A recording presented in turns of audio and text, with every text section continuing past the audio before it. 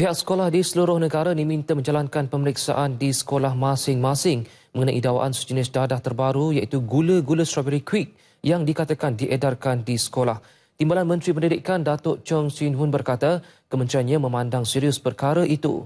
Pihak kementerian akan mengadakan kerjasama dengan agensi anti dadah kebangsaan AADK untuk melakukan ujian air kencing terhadap pelajar yang disyaki terlibat dengan dadah. Setakat ini, Kementerian Pendidikan tidak menerima sebarang laporan mengenai penggunaan dadah melalui gula-gula jenis itu di sekolah.